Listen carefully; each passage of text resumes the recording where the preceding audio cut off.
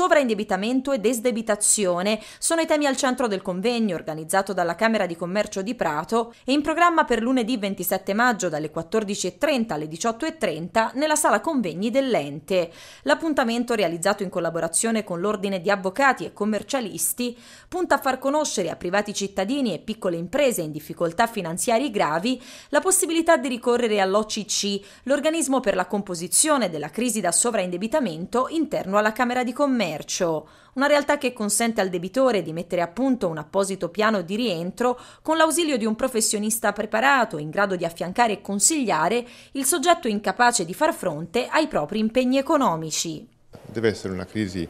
economica consistente, ehm, deve essere quindi già consolidata e ci sono poi dei principi di meritevolezza che devono essere poi verificati prima di poter accedere al servizio, ma comunque l'organismo della Camera di Commercio è attivo proprio per dare assistenza a questi soggetti in questo senso. Allora sostanzialmente viene fatta domanda eh, di nomina di un gestore,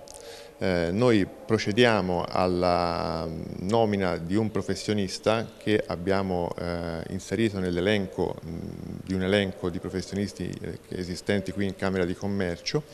Ehm, nominiamo il professionista, il quale poi si prende l'onere di accompagnare il soggetto eh, e di attestare la eh, congruità del piano che lui dovrà andare a eh, realizzare eh, in modo da condurlo all'omologazione da parte del Tribunale. Noi come Camera di Commercio, come organismo, lavoriamo come eh, soggetto ausiliario che va incontro al eh, Tribunale, che aiuta il Tribunale da questo punto di vista. Alla fine, eh, se il, il,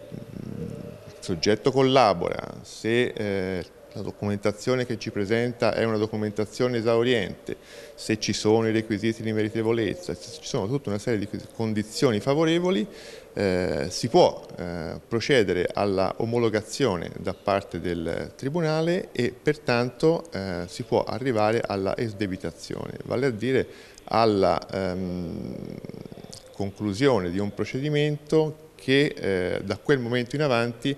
eh, una sorta di ripartenza, in quanto il soggetto da quel punto di vista lì ehm, dovrà, farà la, la, la, ehm, estinguerà i propri debiti sulla base del piano presentato. Il procedimento, frutto di una legge del 2012, è stato formalizzato e tradotto concretamente in appositi percorsi di sostegno finanziario solo da qualche anno. La Camera di Commercio di Prato, partita in questo senso nel 2018, ha ricevuto ad oggi otto richieste di aiuto per estinguere il debito. Lunedì l'argomento sarà affrontato dal punto di vista contabile e legale, con appositi focus tenuti dagli ordini di avvocati e commercialisti. Saranno presenti anche la consigliera regionale Ilaria Bugetti, il giudice del Tribunale di Prato, Maria Novella Legnaioli e il Fondo Santo Stefano, da sempre soggetto attivo nello sviluppo della microimpresa. Per partecipare all'evento è consigliata la registrazione sul sito della Camera di Commercio di Prato. Noi ci occupiamo, come tutti sanno, di, della nascita delle aziende, delle start-up.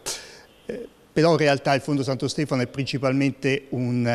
eh, un progetto di solidarietà socio-economica e mi sembra che questo, questa normativa sia uno dei pochi, forse purtroppo, esempi di applicazione di un principio di solidarietà a, di ambito generale.